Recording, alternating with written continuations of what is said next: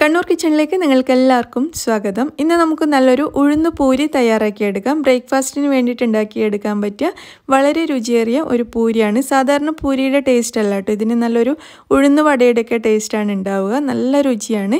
അപ്പോൾ എങ്ങനെയാണ് ഇത് തയ്യാറാക്കിയെടുക്കുന്നത് നമുക്ക് നോക്കാം. ഇതിന് വേണ്ടിയിട്ട് ഞാനിവിടെ എടുത്തിരിക്കുന്നത് അരക്കപ്പ് ഉഴുന്നാണ്. ഉഴുന്നൊരു ബൗളിലിട്ടതിന് ശേഷം നന്നായിട്ട് കഴുകിയെടുക്കാം.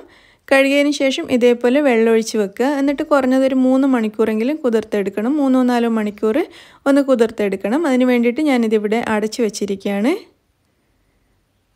അപ്പോൾ നമ്മൾ ഉഴുന്ന് കുതിർത്തിട്ട് ഒരു മൂന്നാൽ മണിക്കൂറായിട്ടുണ്ട്.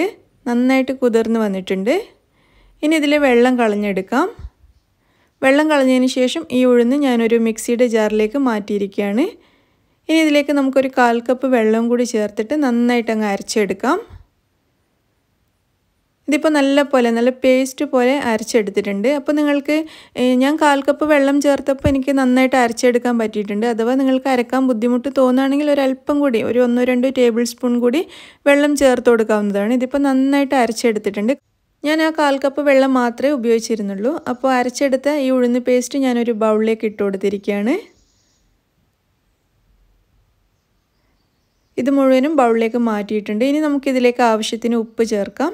പിന്നെ ചേർക്കുന്നത് ഒരു ടീസ്പൂൺ കരിഞ്ചീരകമാണ് കരിഞ്ചീരകത്തിന് പകരം നിങ്ങളുടെ കയ്യിൽ എള്ളാണുള്ളതെങ്കിൽ എള്ളും ഉപയോഗിക്കാം.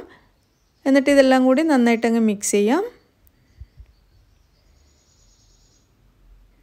ഇനി ഞാൻ ഇതിലേക്കൊരു അര ടീസ്പൂൺ പഞ്ചസാര കൂടി ചേർക്കുന്നുണ്ട്. ഇത് നിർബന്ധമൊന്നുമില്ല.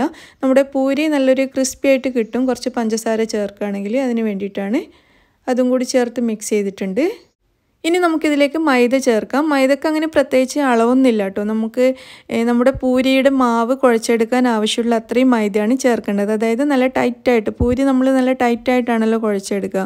അതേപോലെ തന്നെ സാധാരണ പൂരി കുഴക്കുന്ന പോലെ തന്നെ നല്ല ടൈറ്റായിട്ട് കുഴച്ചെടുക്കാൻ മാത്രം ആവശ്യമായിട്ടുള്ള അത്രയും മൈദ ചേർക്കാം.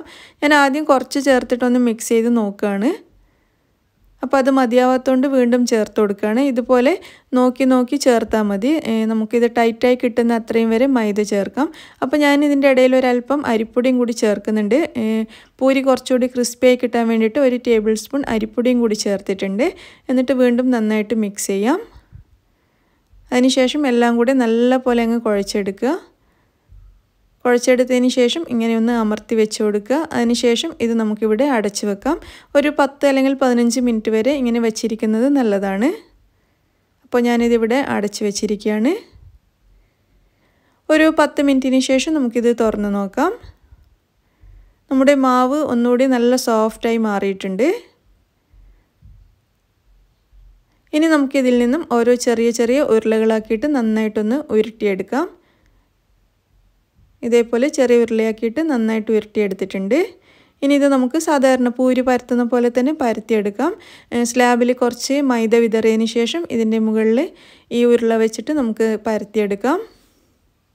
നമ്മൾ സാധാരണ പൂരി എങ്ങനെയാണോ പരത്തുന്നത് അതേപോലെ തന്നെ പരത്തിയെടുക്കാം. പിന്നെ നിങ്ങൾക്ക് വേണമെങ്കിൽ കുറച്ച് തടിയായിട്ട് പരത്താം അല്ലെങ്കിൽ നേരിയതായിട്ട് പരത്തിയെടുക്കാം. അതൊക്കെ ഓരോരുത്തരുടെ ഇഷ്ടത്തിനനുസരിച്ച് ചെയ്യാം. ഞാനിപ്പോൾ തീരെ നേരിയതായിട്ടല്ല ഒരല്പം തിക്കായിട്ടാണ് പരത്തിയിരിക്കുന്നത്. ഇത് കണ്ടില്ലേ ഈ ഒരു വലുപ്പത്തിലാണ് പരത്തിയിട്ടുള്ളത്. ഇതേപോലെ നമുക്ക് ബാക്കി മുഴുവനും പരത്തിയെടുക്കാം. അങ്ങനെ നമ്മുടെ പൂരി മുഴുവനും പരത്തി റെഡിയാക്കി വെച്ചിട്ടുണ്ട്. ഇനി ഇതൊന്ന് പൊരിച്ചെടുക്കണം. അതിന് വേണ്ടിയിട്ട് എണ്ണ ചൂടാക്കാൻ വെച്ചിട്ടുണ്ടായിരുന്നു. നന്നായിട്ട് ചൂടായിട്ടുണ്ട്.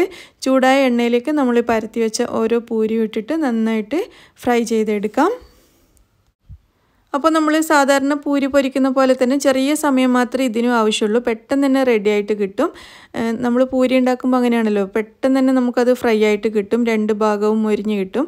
അതേപോലെ തന്നെയാണ് ഉഴുന്ന് പൂരിയും പെട്ടെന്ന് തന്നെ നമുക്ക് റെഡിയായി കിട്ടും. അപ്പോൾ നന്നായിട്ട് പൊങ്ങി വന്നതിന് ശേഷം തിരിച്ചിട്ട് കൊടുക്കാം. എന്നിട്ട് മറ്റേ വശവും കൂടി നല്ലപോലെ മൊരിച്ചെടുക്കാം.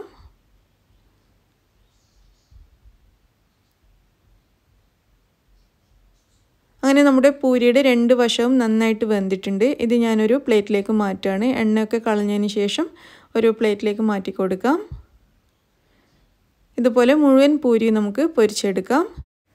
അങ്ങനെ നമ്മുടെ വളരെ രുചിയേറിയ ഉഴുന്ന് പൂരി മുഴുവനും പൊരിച്ചെടുത്ത് റെഡിയാക്കി വെച്ചിട്ടുണ്ട്. രാവിലെ ബ്രേക്ക്ഫാസ്റ്റിന് കഴിക്കാനും അല്ലെങ്കിൽ വൈകുന്നേരമൊക്കെ കഴിക്കാൻ ഭയങ്കര ടേസ്റ്റാണ്. ഇത് നമ്മൾ കൂടുതൽ അരിപ്പൊടി ചേർക്കുകയാണെങ്കിൽ കുറേ സമയം ഇങ്ങനെ ക്രിസ്പി ആയിട്ട് നിൽക്കും.